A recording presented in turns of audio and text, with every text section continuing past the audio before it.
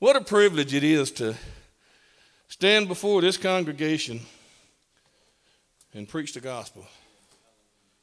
This is my first sermon in Austin Alive Church. Not my first sermon, but the first one at Austin Alive. And uh, it's, a, it's a privilege, to, it's an honor to be here. The title of my sermon today is The Tale of Two Sons. Have anybody ever read the story, The Tale of Two Cities? All right, well, it's not that, okay? and worry, I ain't preaching on that, but I am preaching on the tale of two sons. And uh, as, as, as, usual, you know, two sons, they're individuals and, and they're different. But they got one thing in common, and we'll find that out as we get into the, the sermon a little more. They got one thing in common, and what they have in common is very, very important. I'm going to read scripture. Now, I don't normally read this much scripture at one time. As a matter of fact, that's, in all the sermons that I've preached, this is the first time that I have read this much sermon, uh, this much scripture right out from the beginning. But uh, I just feel to, to get the thing going the way I want it to come out is that it's going to be necessary to read all this scripture at one time. So bear with me as I read. Have y'all noticed, has any, any of us that are getting, you know, slightly older, have you noticed the print has gotten smaller? Yeah, that's crazy. Now, as I read this scripture, you're going to recognize it. It's uh, Luke, chapter of Luke, the book of Luke, and it's chapter 15, and I'm going to start reading at 11. And I'm going to read down, I believe it's to 31. So it's, it's, a, it's, a, little, it's a bit lengthy, but just stay with me, all right? Jesus continued There was a man who had two sons. The younger one said to his father, Father, give me my share of the estate. So he divided his property between them. Not long after that, the younger son got together all he had, he had, set off for a distant country, and there squandered his wealth in wild living. Ring a bell with anybody? Just, just asking. After he had spent everything, there was a severe famine in the whole country, and he began to be in need. So he went and hired himself out to a citizen of that country who sent him to his fields to feed pigs. He longed to fill his stomach with the pods that the pigs were eating, but no one gave him anything. When he came to his senses, he said, How many of my father's hired men have food to spare? And here I am starving to death. I will set out and go back to my father and say to him, Father, I have sinned against heaven and against you. I am no longer worthy to be called your son. Now, remember that as we go through this sermon today. Remember that statement. He says, I am no longer worthy to be called your son.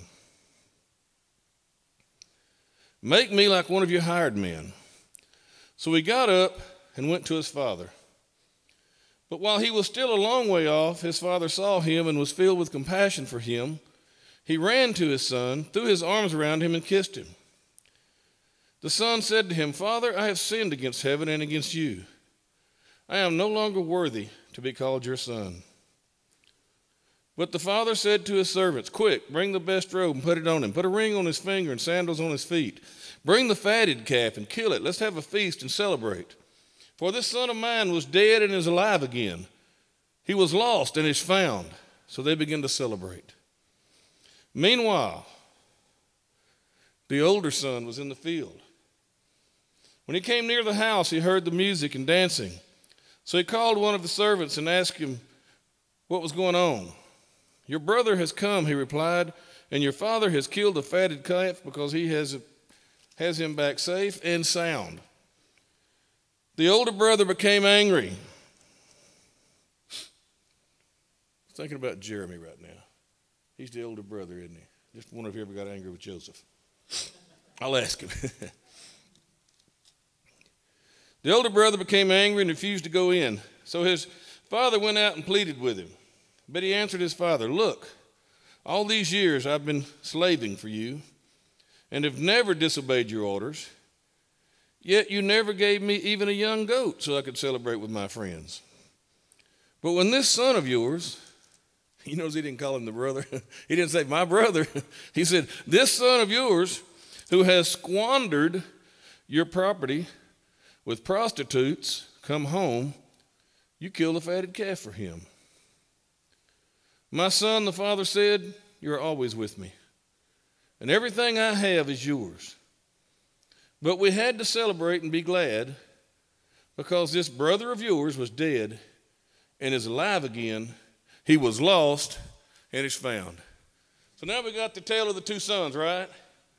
We got this younger son who came to his father and he said, You know what? I, am tired. And I'm going to read, y'all give me some liberty. I'm going to read between the lines a little bit. But he, you know, he basically came to his father and said, You know what? I've, I've had about enough of coming out here and going to work in the fields every day. And, you know, I'm, I'm the son and, and, I'm the young son. I'm the baby of the family. And, you know, you're supposed to treat me a little better and, and all that. And, and uh, so I want my part of this estate. Now, what he's saying is, He's actually showing quite a bit of disrespect to his father because what he's saying is, I don't want to wait for you to, you know, to die and pass on. Then, then get, I want it now. Now, Jewish law, the way it was set up, the oldest son received two shares of the estate. And then whatever was left, however many sons were left, they all got a share apiece.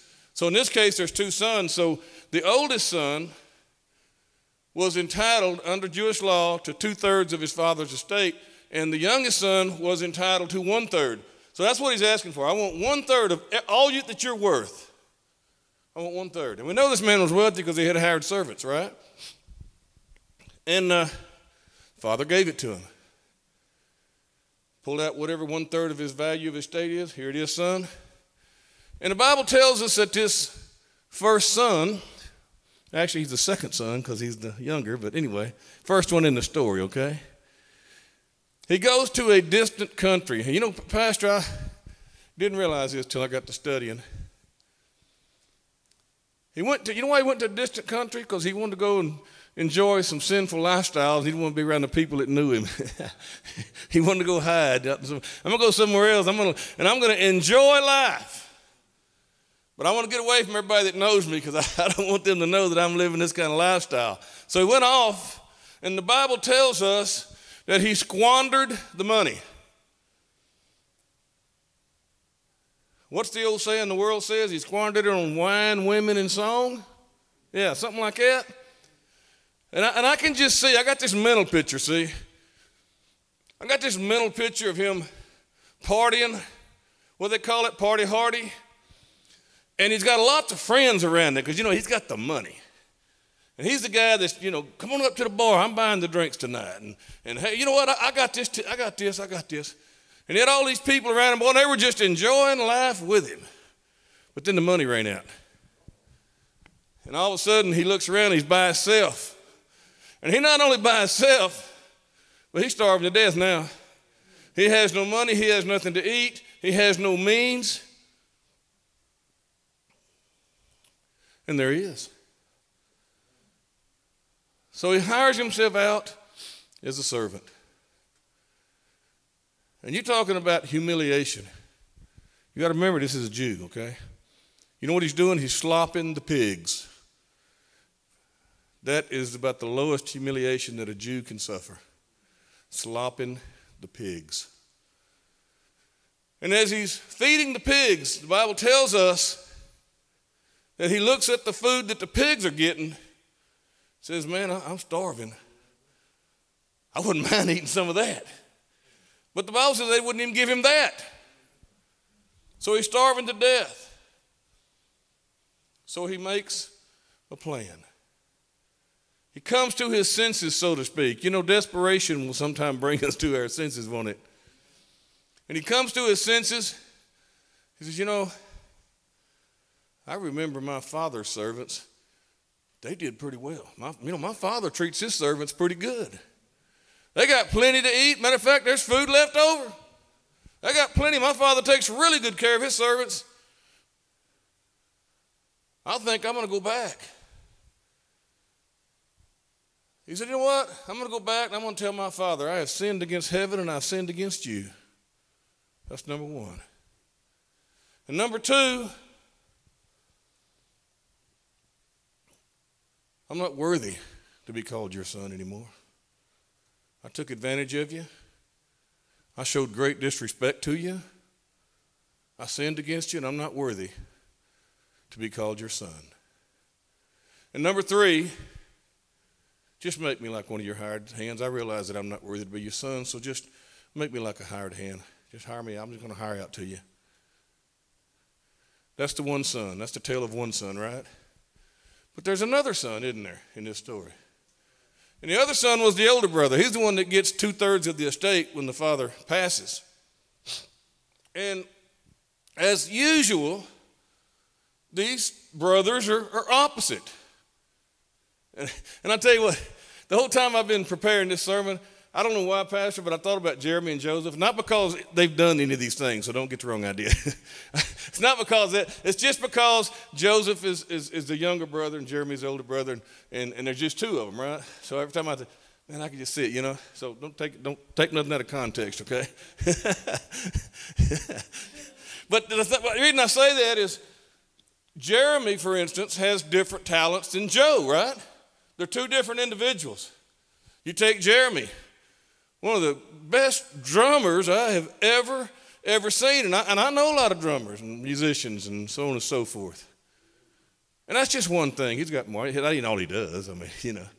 But see, Joe don't play the drums. Matter of fact, Joe has confessed to us that he don't play nothing. He don't sing nothing. but he got his talents, doesn't he? Now, I'm just bringing that up to show you. There's two brothers here, and they're totally opposite, which is very common. So we got the older brother here. And from the scripture I read, we find that the older brother, I got to take his coat off. I mean, I know I look really good in it, but yeah, thank you, brother. the older brother, we, we find from the scripture, he has been out in the fields working. I mean, he's doing everything that a son should do. He's getting up, alarm clock goes off, you know, he's getting up every morning. He's going to the field and working with the servants, and, and he's working to better his father's estate. He's making it prosperous. And he's working hard.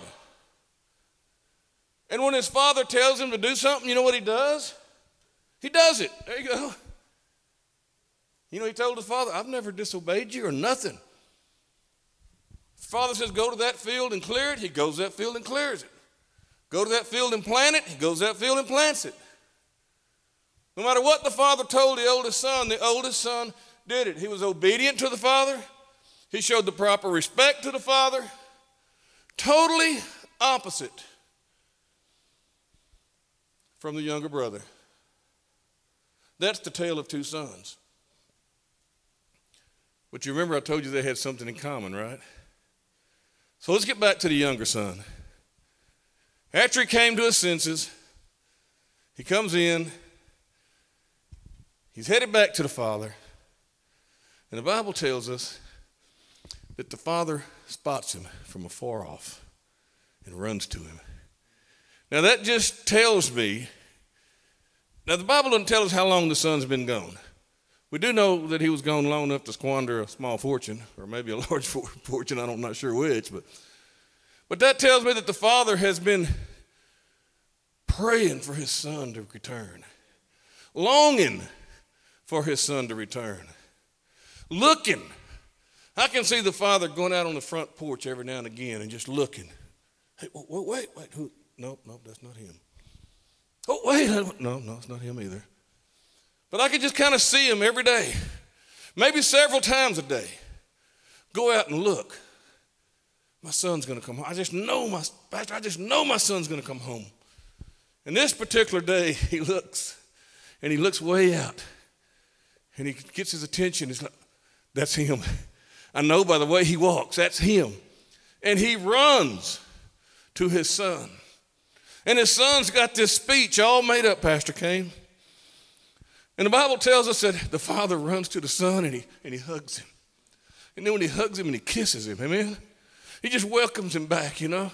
And the son got this speech all ready to go. He says, Father, I, I'm sorry. I, I sinned against you. I sinned against you. I sinned against heaven. I'm no longer worthy to be your son. And he was going to get to the third part, see, where he says, Make me your hired hand. But he never got there. You know why? Because the father stopped him right there. Called his servants, said, Get the robe, get the ring, get the sandals. This, this, this, boy needs sandals on his feet. He needs the ring. You know what the ring signifies? The ring signifies that he's still a son. I like that. I'm telling you, I like that. He's still a son. See, he never got to the third part because the father cut him off.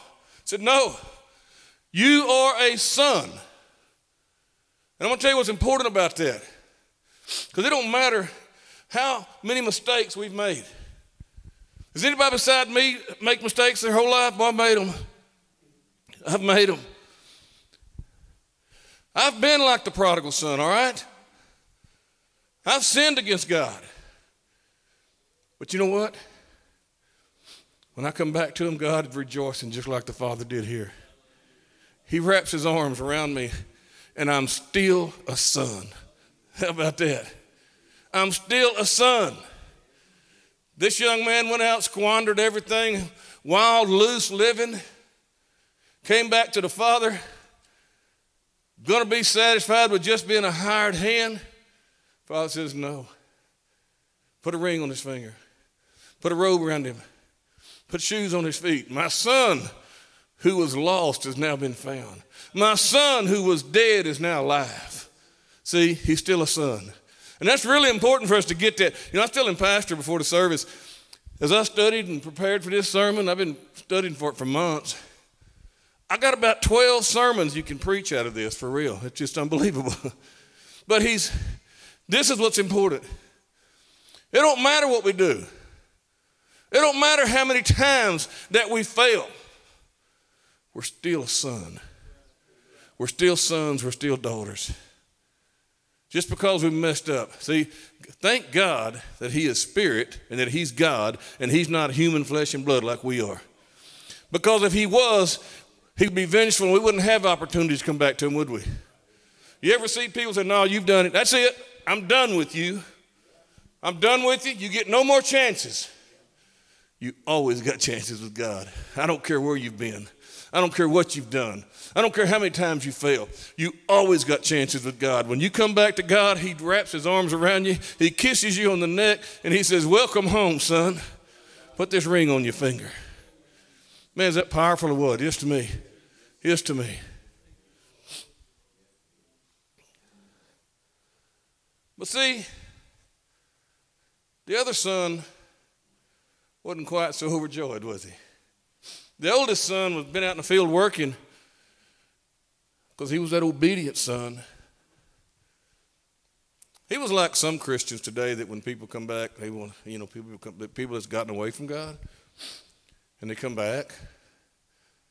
This is sad, but some Christians, some well meaning Christians, oh, we, you know, he messed up. Now we're going to let him come back, but, but, he, you know, he can't do nothing. He's going to have to sit back on the sidelines and he's going to have to prove himself. And, and if, and he proves himself for a few years, Pastor, then we'll think about letting him maybe sing a special or, you know, lead a testimony service. And, and, and you know, if he's got the call on his life to preach, we'll, we'll finally, we'll, we'll get around to letting him preach sermon, but we've got to wait. Well, thank God the Father's not that way. But the oldest son came in from the field and uh, he heard the music. He asked one of the servants, What's going on? He said, Your brother has returned. Now, instead of being overjoyed that his brother has come, he got angry. And let me tell you what, he wasn't just angry with his brother either, he was also angry with his father. His father went out to get him. And, Son, why don't you come on in here? Your brother has, has, has come home. Your brother was lost and, and now he's found. He was dead, now he's alive and he's back. And come on in and let's celebrate. And the oldest son says, No, I ain't celebrating. That bum went out and spent all the money. Money we could have used to better this, you know, estate. Blowed it, had fun while I stayed here and worked. And you let him, and you gave it to him, you didn't stop him. You could have, you know. He was angry. You ever thought why was he so angry? I think there was more than one reason. One, he stayed there and worked all the time. felt like he was overlooked. He said, Hey,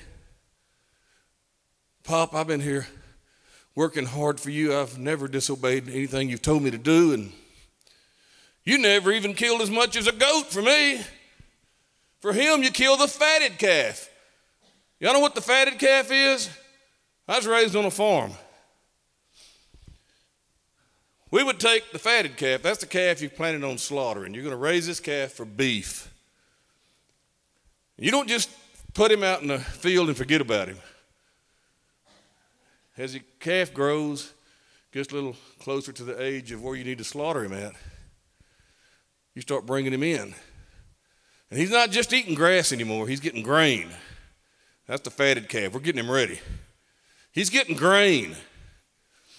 And in a month or two, I can't remember, it's been a long time, we start giving him corn. I mean, we're getting this thing ready. When we take this thing and he comes back to us wrapped up as sirloin steak and, you know, stuff like that, it's going to be top notch beef. That's the fatted calf, all right? And the eldest son says, You give him the fatted calf. You ain't giving me as much as a little goat. See, the goat, a little goat ain't worth near what that calf's worth. I'll tell you that right now. You hadn't even given me a goat to celebrate with my friends. He was angry. Felt like his father overlooked him. Felt like his father may have loved the younger brother more because he's doing more for him. And the father tells him, No, you got it all wrong. We're celebrating because he's back. He was lost, now he's found. But see, there was something else playing on in his mind. Remember, he's the oldest brother. He gets two thirds of the share. That's all that's left. The younger brother done took the third, right? All that's left of the estate, there's two thirds left, and it's going to go to the oldest son. He's worried. Oh, that baby brother of mine, he's come back because now he wants part of my share, Pastor Kane. he wasn't satisfied with taking his share and going out and spending it and on wild living and having a great time and doing all these things. He went and blowed it. Now he's broke. And only reason he came back because now he wants some of my share. We, we can get that way, can't we? But look at what the father told him. He said, My son, you are always with me. And everything I have is yours. the father took a little time there to reassure him. Don't worry about that. You're always with me. I know you're here. I appreciate the fact that you're here. And everything that I got is yours. He reassured him right there I'm not taking nothing away from you. In other words, I'm not going to penalize you. I'm going to take care of you just like I said I would. I called this sermon The Tale of Two Sons. We looked at two sons, they're brothers. They're completely different. You see different behaviors, you see different directions in their life. But see, they had one thing in common. Remember, I told you that going in? And the one thing, they might have been different than everything else, but the one thing they had in common was the Father. they had the same Father, didn't they? And I'm going to tell you something. This father loved them both equally. He didn't love the young son more than he did the elder. He loved them both. He loved them both the same. And that's important for us to remember that. Because, see, sometimes we look at people and we feel like, well, God has blessed them so much, and God hasn't blessed me like He's blessed them, and God must love them more than. No, He don't. God does not love you more than He loves me. And He does not love me more than He loves you. I think about that quite often as I go through my life every day. And as I deal, you know, we're a service company where I work and deal with customers. And sometimes I just shake my head like, man, did these people die at birth or what? You know, did your mama have any kids that lived? You know, that kind of thing. And it's like, I can't believe these people. And then I find myself, Lord, you, you, don't, you don't feel that way toward these people, do you? I mean, I really find myself there, and, I, and that's when I have to repent and pray. And I, I say, Lord, help me to love like you love. Because, see, when God looks on a person, what does the scripture say? For God so loved the world that he gave his only begotten Son, those who believe in him shall not perish but have everlasting life. It didn't say those that dress well, God loves. He didn't say those that drive nice cars and live in nice houses, God loves. He didn't say those that don't stand on the street corner and beg, God loves. God loves everybody. He loves us all. Every human being that's ever been created has been created by God, and He loves us all. He's the Father. We have, just like the two sons here, we have something in common today. We have the same Father. We have the same Father, and He loves us, He cares about us, and when we do fall, He runs to meet us when He sees us coming. And He throws His arms around us, and He hugs us, and He kisses us, and He welcomes us back, and He's overjoyed that we have come back into right relationship with Him. Praise God. I hope tonight, my prayer tonight about this sermon is that you got as much as I did. I don't know. I hope I presented it as well as I got it here, because I mean, I, I got it. And that's something that I think that preachers always a little concerned about, Pastor Kane. We get these sermons, God gives them to us, we study, we pray, we seek God, and we get it. And we just hope that we have presented it in a way that you can get it to. I appreciate this church. You know, tonight we we have come a long ways together as a church, and we've had lots of good times as a church. We've had tough times as a church, and I appreciate this congregation, and I appreciate the opportunity to stand before you and preach the gospel of Jesus Christ. Because see, like the prodigal son, if you go back and look at my past, Brother Kane you would say, Buddy's not worthy to preach the gospel.